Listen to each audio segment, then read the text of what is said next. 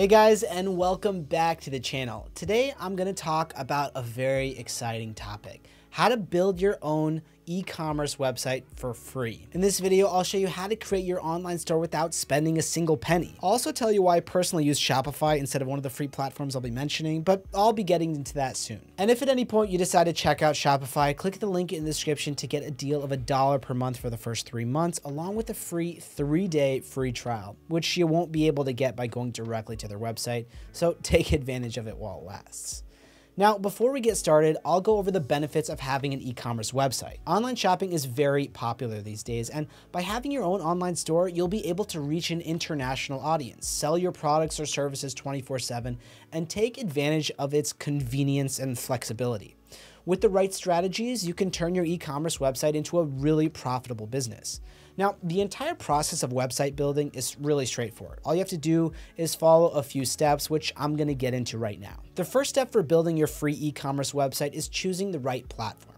Luckily, there are several options available that offer free plans with robust features. You can choose from Squarespace, Weebly, WooCommerce, etc. All these are free open source and offer various customization options. Next, it's time to set up your store. You'll be asked to sign up for an account and follow the platform's instructions.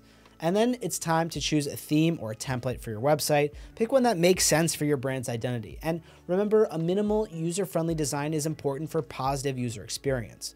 In order to make your website stand out, customize your chosen theme by adding your logo, changing colors, and adjusting fonts to suit your design. Don't forget to create informative pages like an About Us page, product descriptions, and contact information. Now, what else does a store need?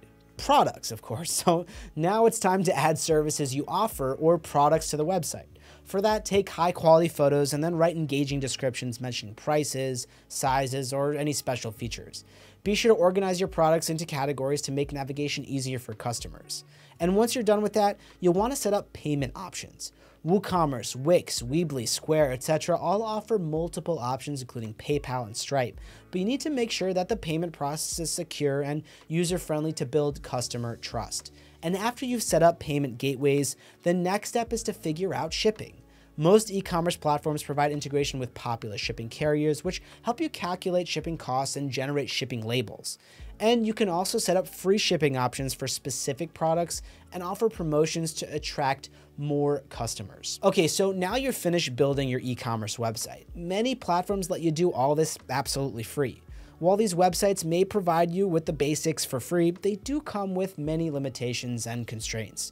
You know, as your business grows, you might want to have better features, such as different payment options or detailed analytics. But here's the thing handling all that on a free website can get tough and really kind of impossible. Most free websites don't even offer such features at all. So my advice to you is to just think it through and do some research before choosing any platform. Sure, a free option might save you money at first, but in the long run, you'll be limited by the few features, especially if you're going to want to scale your business. Now, that explains why I chose Shopify for my own e-commerce website. The free platforms just weren't offering all that I wanted or needed for my business, and that's when I really began to do my research. After a while, I finally found Shopify with all the features I was looking for. My personal experience with Shopify has been really great and was the best decision that I think I could have made. They gave me fantastic themes that looked beautiful and were compatible on both desktop and mobile phones automatically. I also really appreciated their 24-7 support that was always there when I needed them. Oh, and they gave me free SSL certificates to keep my website safe and secure. So there's really no need to be concerned about hackers or anything like that. Shopify also made it easy for me to accept payments on my website. I don't need to deal with any third party services because it was all offered right there with Shopify. They really did make the whole process as simple as possible and while everything was going well, I was still concerned about shipping. It was just too much to handle as a new business owner, so I tried Shopify's dropshipping option, which offers a range of well-known vendors that'll provide delivery services for your products. This was a game changer, and I've been really happy with it since the start. With Shopify's paid plans, you can unlock the full potential of your online store. You gain access to advanced features, expanded customization options, reliable hosting, and exceptional customer support, which are all essential for taking your e-commerce business to the next level. So there you have it. While building your own e-commerce website for free is an option, it's up to you to decide what's the best for your business. Whether you go with the free or paid platform, you'll be able to create a successful online store without breaking the bank.